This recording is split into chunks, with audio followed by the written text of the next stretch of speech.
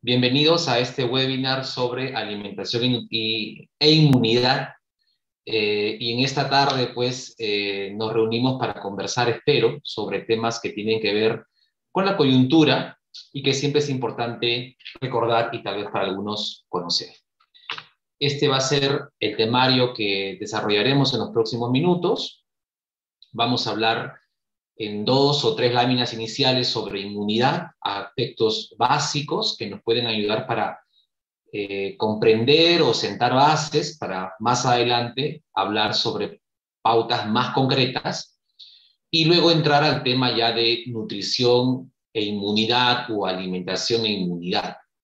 Vamos a hablar de tres temas, de tres tópicos, que son, como decía Mabel en la presentación, un tema bastante extenso, complejo, eh, trataremos de tomar algunos tópicos que creemos son necesarios reforzar en temas de estado nutricional, en temas de microbioma intestinal y luego repasar algunos inmunonutrientes.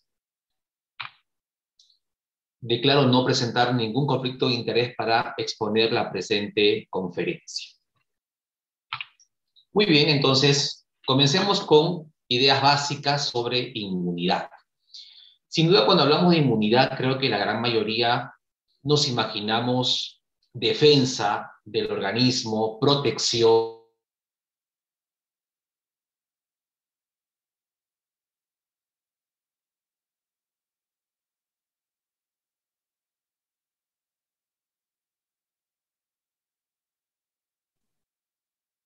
Eh, disculpe. Ha cobrado eh, te quedaste un poquito congelado, discúlpame, Edgardo. A ver, ok. Bueno, les decía de que eh, los temas de inmunidad en la coyuntura actual han cobrado mucha relevancia. Eh, y vamos a describir brevemente que la inmunidad vista desde los mecanismos de acción puede dividirse en dos grandes grupos una inmunidad innata y una inmunidad adaptativa. La inmunidad innata es aquella que es nuestra primera línea de defensa, es la que actúa de forma casi inmediata frente a un potencial eh, patógeno o agresión. Está formada por barreras físicas, epiteliales, está formada por células como son los macrófagos, neutrófilos, dendríticas, NK, también está formada por proteínas, como son algunas citoquinas, proteínas del complemento. Por su parte, la inmunidad adaptativa es una inmunidad que requiere más tiempo para que se, se forme, se geste, eh, y está formada básicamente por los linfocitos T y los linfocitos B además por los anticuerpos que son producidos por los linfocitos B previa conversión a células plasmáticas.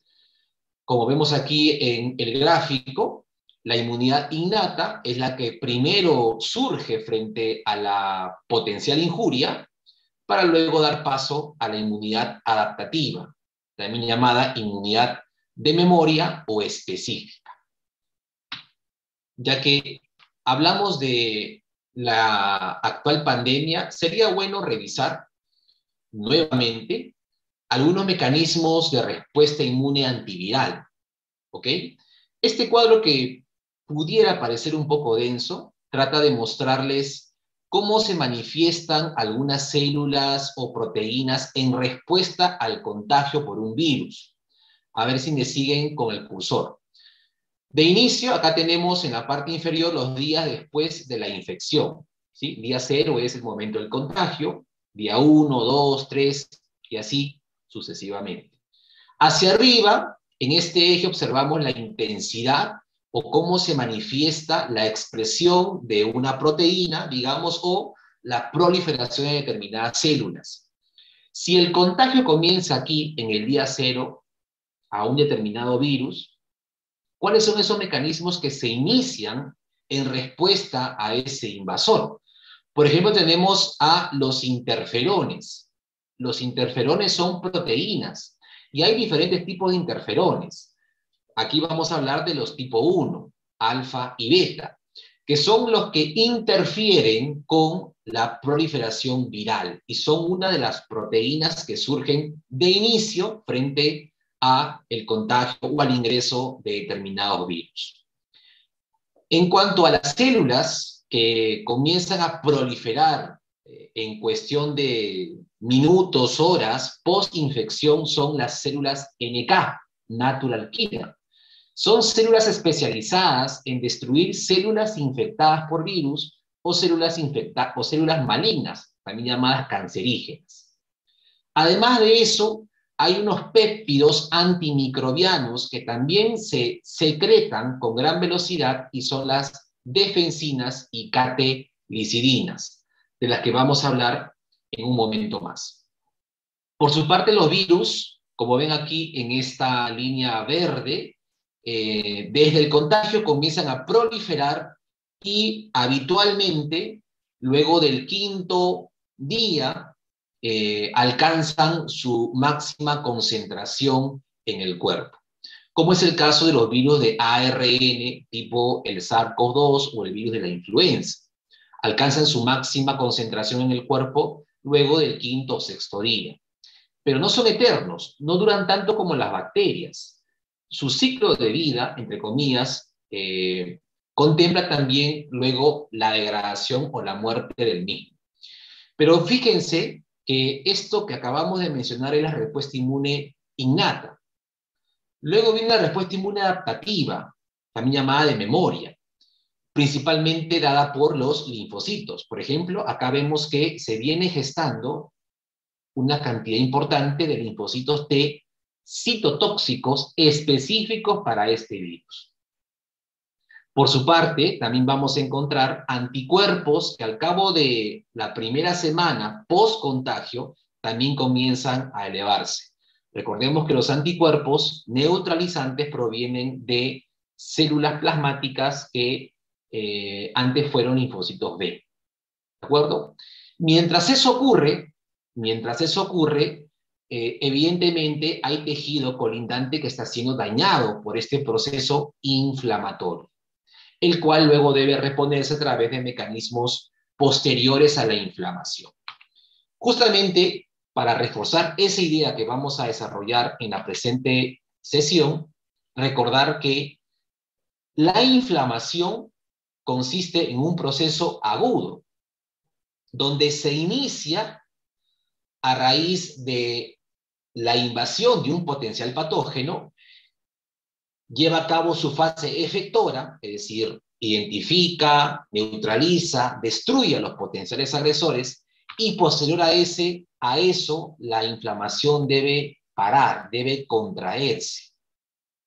La inflamación, por tanto, es una respuesta aguda que nos protege frente a una potencial injuria. Esa es la inflamación. Y hacemos énfasis porque generalmente se habla de inflamación como si fuera siempre un elemento dañino, deleterio, y no es así. El problema no es la inflamación, el problema es la inflamación crónica, la misma que acumula tejido dañado a lo largo de los años, ya que justamente es crónica. Ok, entonces, partiendo de esa base, vamos a explorar algunos componentes alimentarios y nutricionales. Comencemos con el estado nutricional. Y vamos primero a hablar de la sobrenutrición o la malnutrición por exceso. Entonces, hablaremos del sobrepeso y la obesidad. No es un secreto decir que estas condiciones representan un grado de alteración de la salud. Pero ¿qué tiene que ver con la inmunidad la obesidad? Recordemos que en el proceso de la obesidad, los adipocitos que almacenan grasa crecen, se hipertrofian. ¿Por qué? Porque deben almacenar más cantidad de triglicéridos producto de la ganancia de masa grasa. Ese proceso de hipertrofia, de crecimiento de adipocitos, conlleva a hipoxia.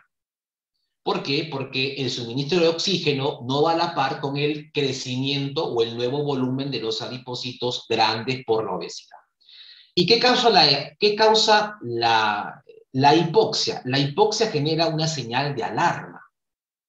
Alarma por parte de los adipocitos y en respuesta alarma también por los macrófagos y linfocitos infiltrados en el tejido adiposo. Es decir, hay una señal de alarma que es en realidad la inflamación en sí misma. Esos adipocitos son adipocitos agresivos cuando están hipertrofiados producto de la obesidad. Y en respuesta van a ser disfuncionales por el ataque de los macrófagos y linfocitos en el tejido adiposo. Es decir, en la obesidad encontramos un estado inflamatorio que no es local, sino es sistémico. Probablemente comienza en el tejido adiposo visceral, que es de los primeros que crecen de forma anormal, y luego se extiende a todo el cuerpo por la sangre. Quien tenga obesidad más aún en estado crónico tiene algún grado de inflamación crónica. Es decir, las personas en esta condición tienen un estado reactivo, pero no es una inflamación eh, causada por un patógeno, por un virus, bacteria, sino es una inflamación estéril. Es una inflamación causada por los mecanismos cardiometabólicos surgidos en este proceso. Además, hay también evidencia de que personas con obesidad tendrían una menor cantidad de células NK y las que tienen serían menos citotóxicas. Recuerden que las NK son células inmunológicas encargadas de destruir células infectadas por virus o infectadas, perdón, o células neoplásicas, o sea, células cancerígenas.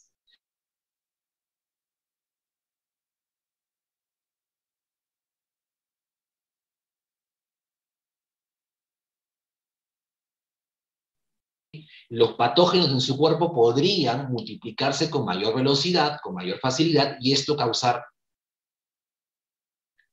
y esto causar, eh, y esto causar mayores estragos en la salud. Además, también en el cáncer, por ejemplo, se ha detectado que las células NK en el contexto de la obesidad podrían almacenar una eh, importante cantidad de grasa.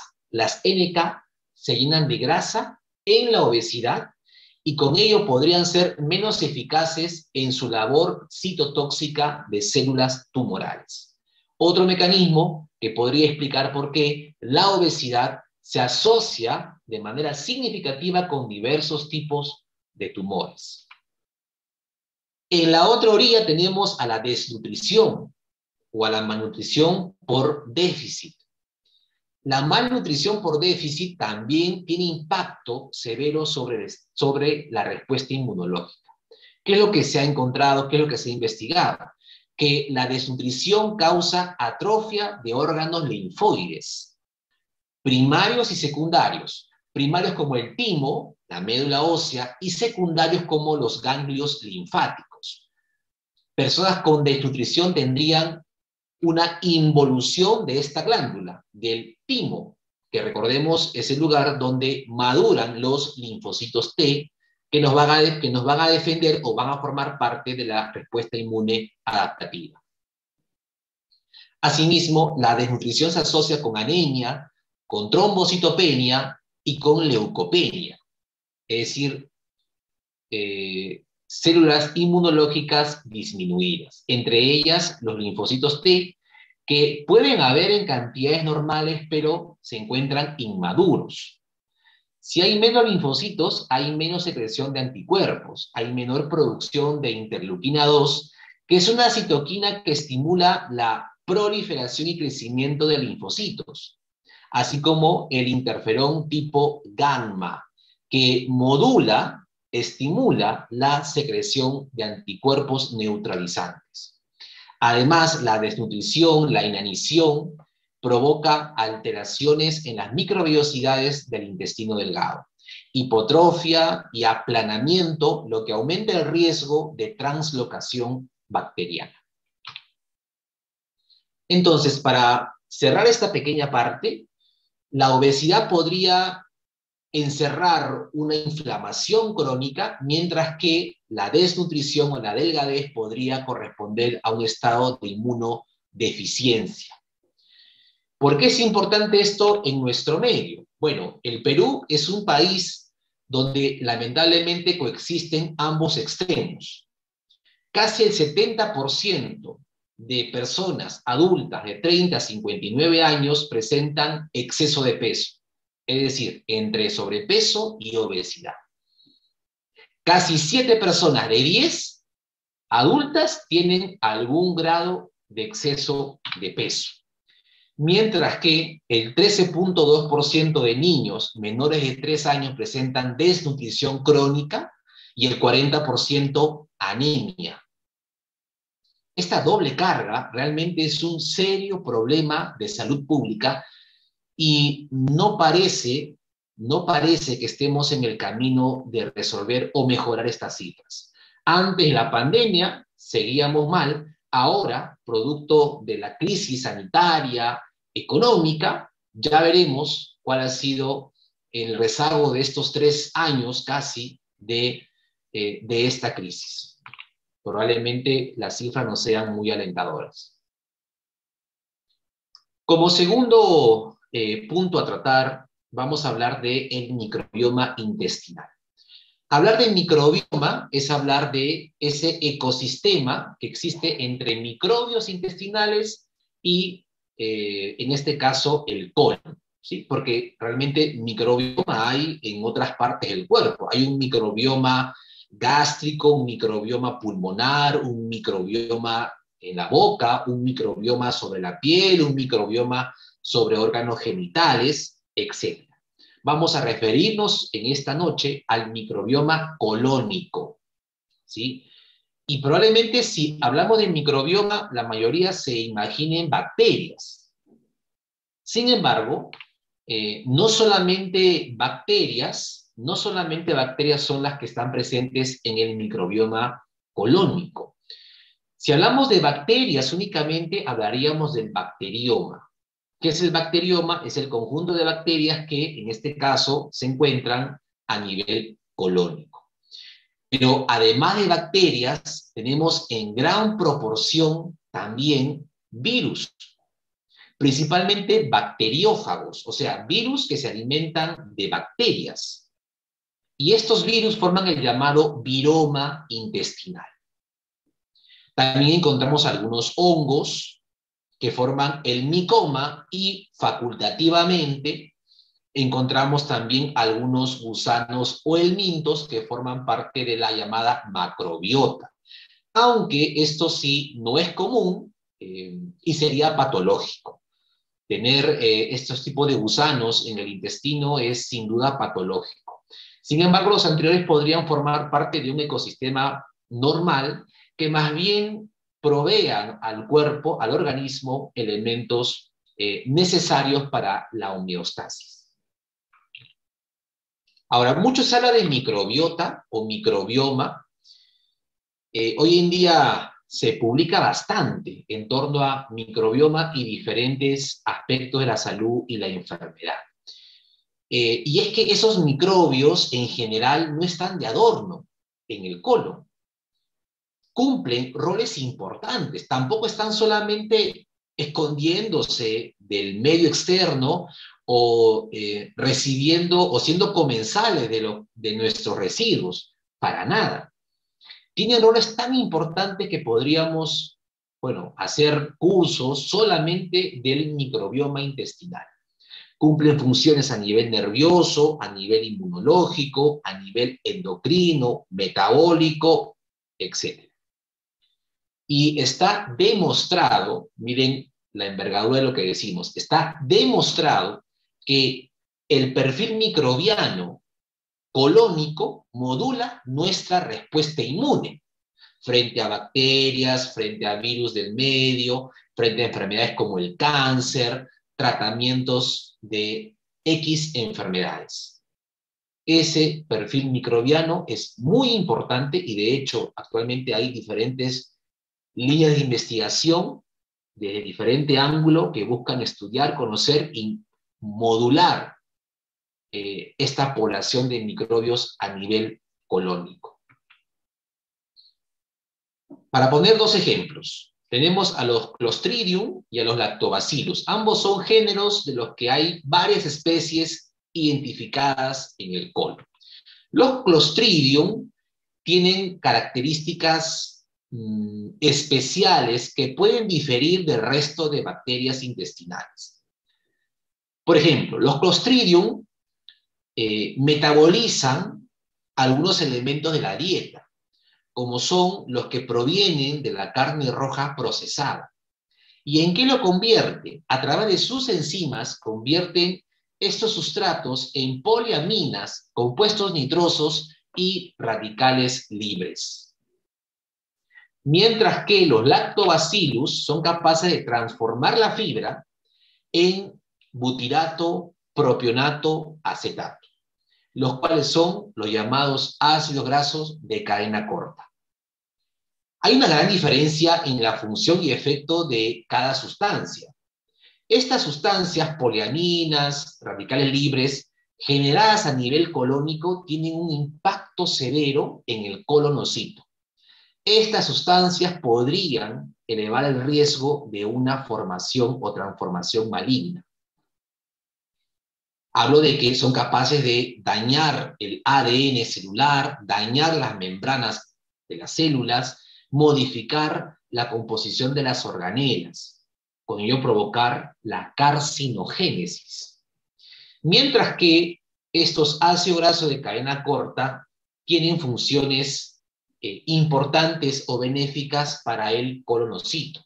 Por ejemplo, el butirato es un potente antiinflamatorio a nivel colónico. El propionato, eh, también el butirato, sirven como fuente energética para ese colonocito. Así que podría ser beneficioso la formación de estos compuestos a través de la fibra dietaria. Como saben, la fibra dietaria es aquel carbohidrato no digerible ni absorbible que llega al colon. En el colon, las enzimas bacterianas sí pueden transformarlo justamente en estas sustancias. Además del género de Lactobacillus, también tenemos las bifidobacterias, el Faecalibacterium, Eubacterium, Ruminococcus, Roseburia, entre otros géneros que fermentan la fibra hacia ácidos grasos de cadena corta. Cobra especial relevancia el butirato, repito, por su efecto antiinflamatorio. Aquí a su mano izquierda observamos algunos tipos de fibra y el tipo de ácido graso de cadena corta que son capaces de formar gracias a la intervención de las bacterias a nivel colónico. Si decimos que el butirato es de estos compuestos el, que tiene el mejor, la mejor capacidad eh, antiinflamatoria, antioxidante, sería relevante observar que la principal fuente de fibra capaz de formar butirato gracias a las bacterias intestinales es el llamado almidón resistente. El almidón resistente eh, puede ser sustrato para formar la mayor cantidad de butirato respecto a otros tipos de fibra que también son importantes conocer, consumir en una dieta habitual. El almidón resistente puede encontrarse naturalmente en algunos alimentos, como son el plátano verde o los derivados de este alimento. Recordemos que el almidón es un polisacárido y conforme el alimento, en este caso la fruta, madura, reduce su cantidad de polisacáridos y más bien aumenta su cantidad de disacáridos o monosacáridos. Este almidón resistente, repito, puede encontrarse de forma natural en algunos alimentos. Sin embargo, también se sabe de que hay diferentes tipos de almidón resistente. El tipo 3, el almidón resistente tipo 3, es el que se puede formar de manera artificial mediante algunas técnicas de cocción o de tratamiento de alimentos que contengan almidón. ¿Qué es el almidón resistente? Es un tipo de almidón que producto de la manipulación térmica ha modificado su estructura fisicoquímica es menos digerible y absorbible por el enterocito. Gracias a eso es capaz de alcanzar el colon y en el colon es fácilmente fermentable y sirve, entre comillas, de alimento para las bacterias fermentadoras de este tipo de nutrientes. O sea, tiene, un, eh, tiene una capacidad eh, positiva para mejorar el crecimiento de bacterias que van a generar sustancias positivas para nuestra salud. ¿Cómo se podría generar almidón resistente? Paso uno, calentar o cocer alimentos con almidón. Puede ser al vapor, puede ser al horno, puede ser en hervido. Tener en cuenta el tiempo de cocción, dependiendo del tipo o la forma de preparación. Paso 2, enfriar el alimento cocido a temperatura de 0 a 4 grados, es decir, de refrigeración por mínimo 4 horas. Sacar el alimento, opcionalmente calentarlo ligeramente para volver a consumir. Ese proceso de cocción, enfriamiento y consumo permite obtener un tipo de almidón resistente que mejora el microbioma intestinal. Claro, no se podría hacer esto sin reducir la cantidad de carne roja procesada y grasas que impacta de forma negativa sobre el microbioma intestinal.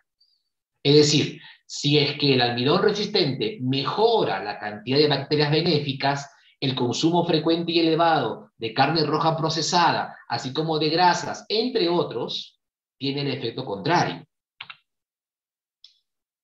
Muy bien. Dicho eso, vamos a pasar a la última parte de nuestra sesión de hoy, donde vamos a revisar algunos nutrientes inmunoesenciales. Y vamos a comenzar con la vitamina A o retinol. ¿Qué funciones tiene el retinol o vitamina A en el sistema inmunológico?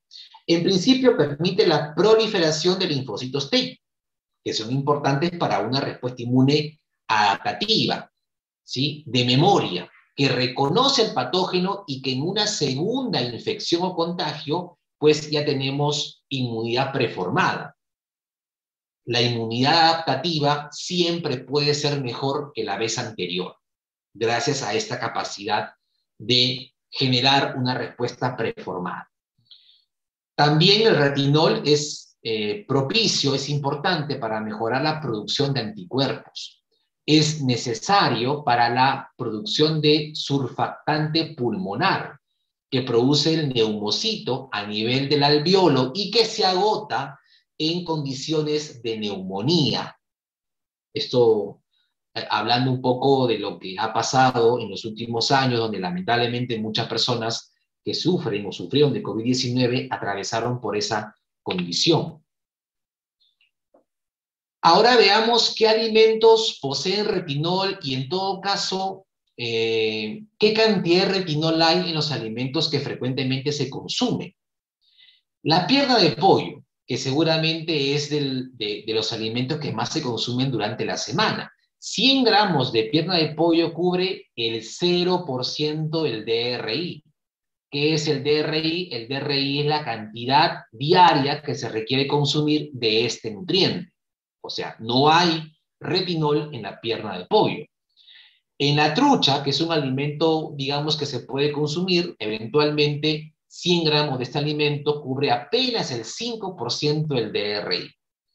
100 gramos de bonito, de forma similar, 100 mililitros de leche de vaca cubre apenas el 10% del DRI. Acá podríamos hacer una acotación, dado que dependiendo de la marca, dependiendo de la marca de leche, eh, algunas podrían estar, eh, podrían tener una mayor cantidad debido a que eh, muchas veces son fortificadas con determinados nutrientes. Hay que ver mejor la etiqueta. El alimento que posee la mejor cantidad de retinol es el hígado de rezo de pollo. 100 gramos de este alimento cubre más del 100% del DRI. Y un acápite aparte, los alimentos vegetales contienen precursores de vitamina A, que se llaman beta-caroteno. El beta-caroteno es un antioxidante muy bueno, pero que no tiene la función del retinol, del que hemos estado hablando. Cuidado con eso.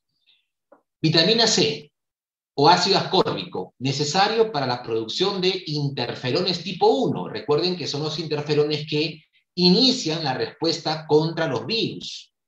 También estimula la fagocitosis contra microbios patógenos, combate el estrés oxidativo, ya que es antioxidante, y permite una adecuada producción de colágeno.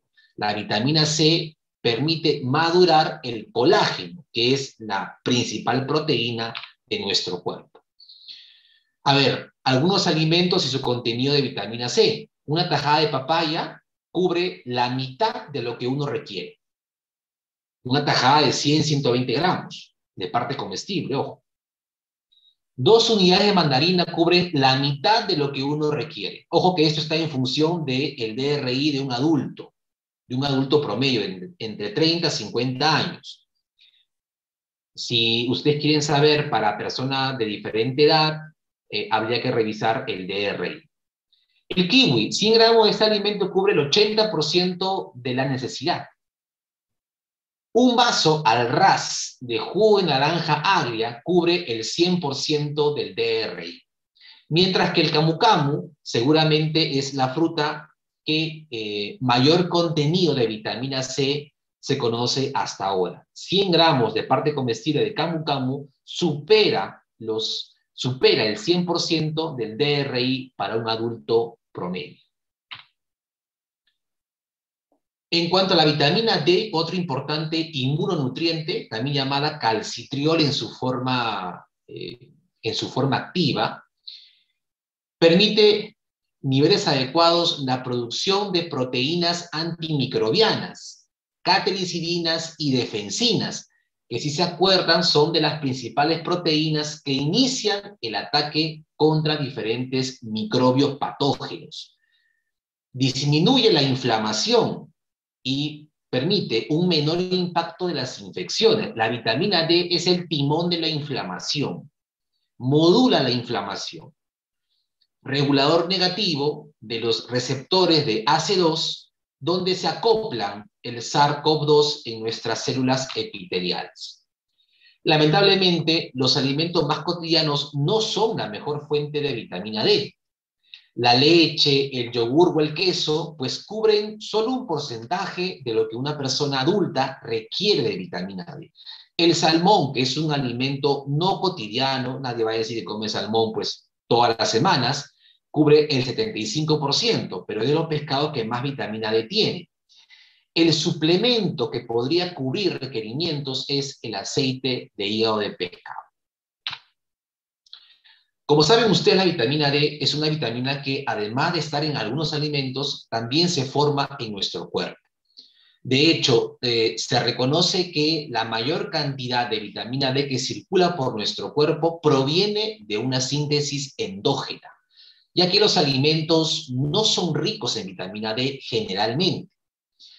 Pero luego viene la controversia con los aspectos negativos de la radiación porque la misma es necesaria para una adecuada producción de vitamina D. Entonces, se ha recomendado exponerse de forma racional y aprovechar los días o la temporada donde hay sol. Entre 20 o máximo 30 minutos, pero no cercano al mediodía, podrían ser suficientes para formar vitamina D. Sin embargo, no es tan sencillo y hoy se reconoce de que hay factores que pueden eh, influir en niveles adecuados de vitamina D.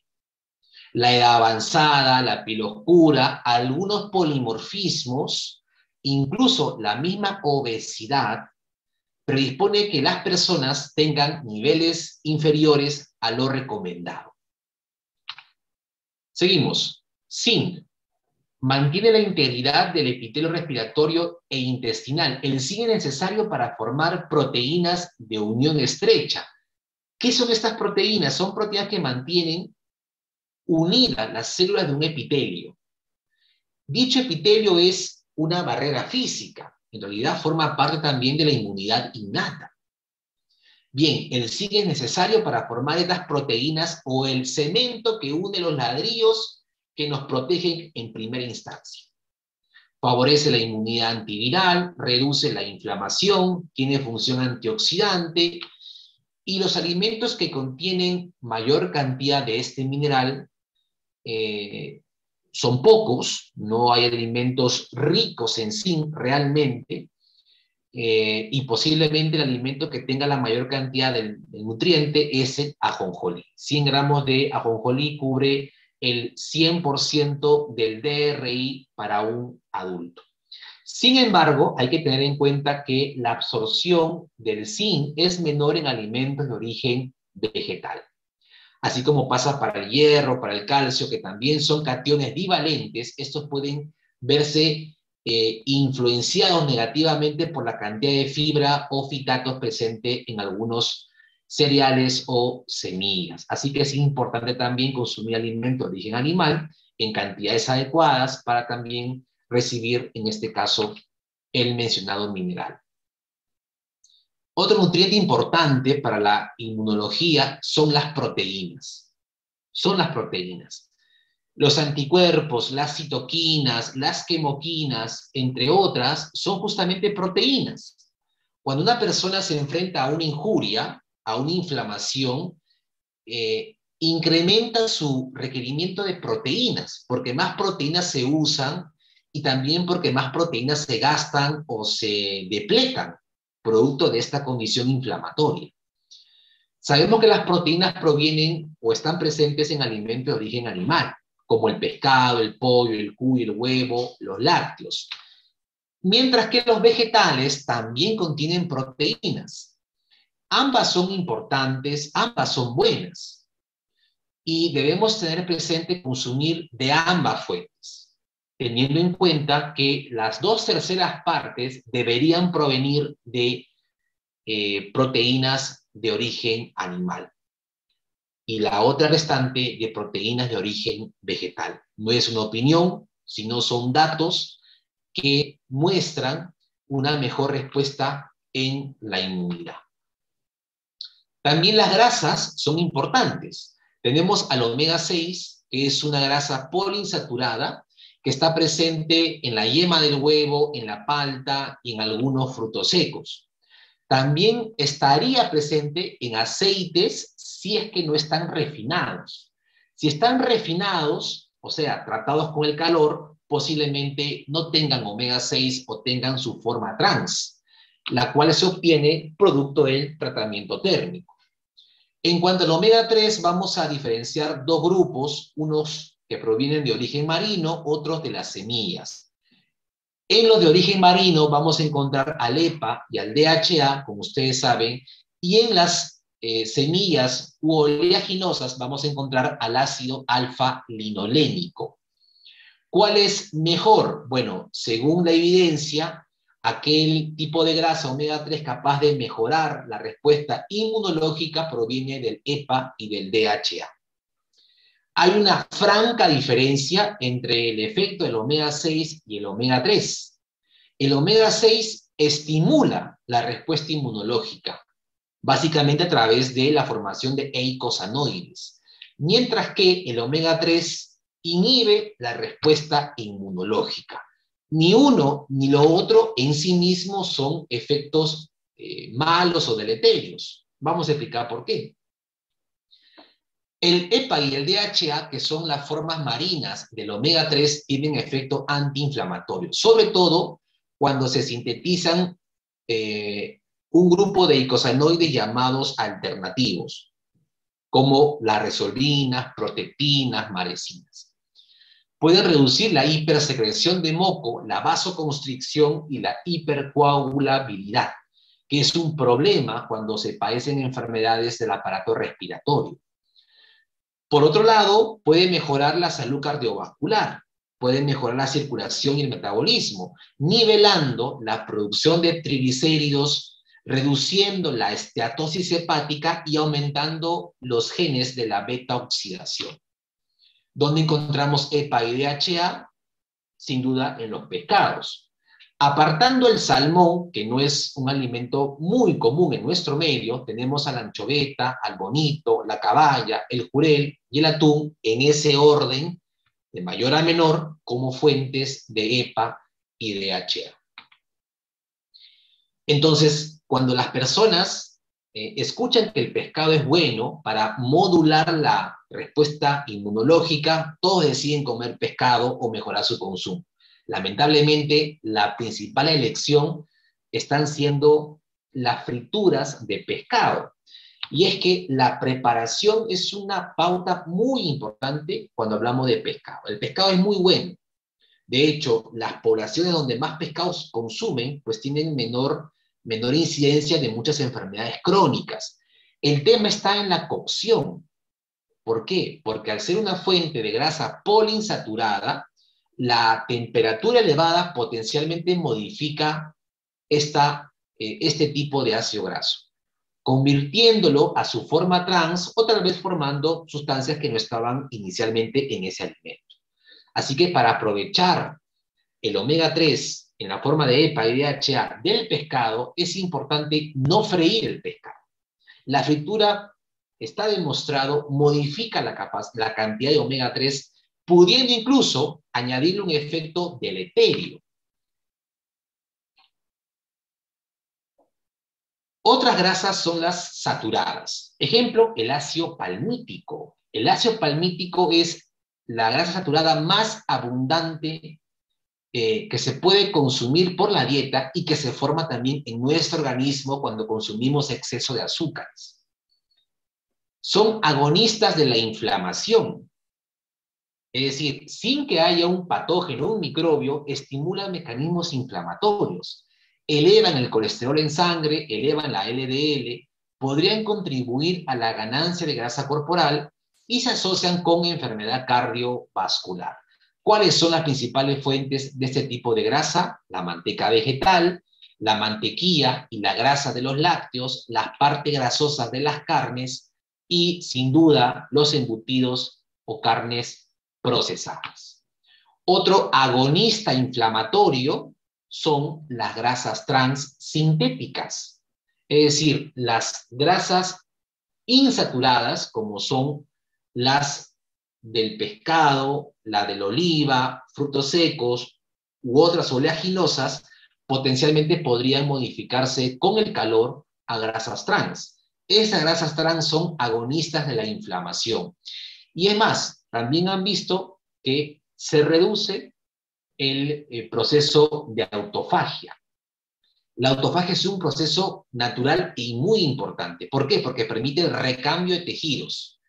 Y es un evento que ocurre luego de una injuria, luego de un golpe, un trauma, luego de una gran quemadura. Hay un alto proceso de autofagia, de renovación de tejido dañado. Las grasas trans podrían reducir el proceso de autofagia. Así que ya en el epílogo de la presente charla, vamos a recomendar tener cuidado con el consumo de alimentos ultraprocesados. ¿sí? Lamentablemente, eh, vivimos con un ritmo de vida muy acelerado, donde hay poco tiempo para ir de compras, poco tiempo para cocinar, poco tiempo para comer. Y esto, en algunos casos, eh, promueve el facilismo y elegir alimentos pues que están al alcance, pero que son poco nutritivos y en algunos casos deleterios. ¿sí? Es mejor reducir el consumo de alimentos ultraprocesados, que tienen octógonos que ustedes ven en pantalla, y por otro lado, reducir el enigma de qué estamos comiendo. Lamentablemente hay vacíos en nuestra legislación que realmente no nos permite conocer qué está consumiendo, qué se está llevando a la boca el consumidor. Así que para evitarnos estas vicisitudes es mejor eh, elegir siempre una alimentación lo más natural posible. Bueno, para concluir, la alimentación y los nutrientes tienen un vínculo muy cercano con la inmunidad con la respuesta inmunológica. La respuesta inmunológica tiene fases. Generalmente ocurre así, se activa, ocurre una fase efectora, donde se resuelve el problema y luego la inflamación o la respuesta debe contraerse o apagarse. Ese es un proceso natural de la respuesta inflamatoria. Eso permite protegernos, eso permite salvaguardar nuestra integridad. Si la inflamación es aguda, pues probablemente salgamos airosos de esa injuria. Si la inflamación se hace crónica, esto con el tiempo deteriora los tejidos y potencialmente nos acerca a una patología crónica, a una enfermedad crónica. Diabetes tipo 2, cáncer, enfermedades neurodegenerativas, etc. Y resulta que la dieta, pues, es necesaria en ambos, en ambos lados, en ambas fases, porque hay nutrientes que estimulan una respuesta adecuada. La vitamina A, la vitamina C, el hierro, el omega 6. Las grasas saturadas y las trans en un reglón aparte porque podrían más bien desregular hacia el lado inflamatorio, ¿sí? Mientras que las grasas omega 3, sobre todo en su forma de EPA y DHA, el zinc, la vitamina D y el selenio, podrían modular a la baja la respuesta inflamatoria. Se requiere de ambos, ¿de acuerdo? Se requiere de ambos. El problema está en que muchas veces predominan sustancias agonistas de la inflamación y más bien las que forman el contrapeso inflamatorio están casi ausentes, como es el selenio, el omega 3, eh, alimentos con zinc, etc. La recomendación entonces es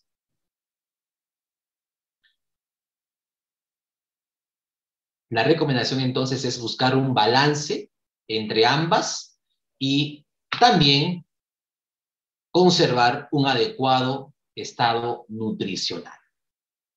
Hoy día hemos hablado de estado nutricional, hemos hablado de microbioma intestinal y de algunos inmunonutrientes. Estimados participantes, gracias por su atención y quedo atento si hubiera alguna pregunta. Gracias.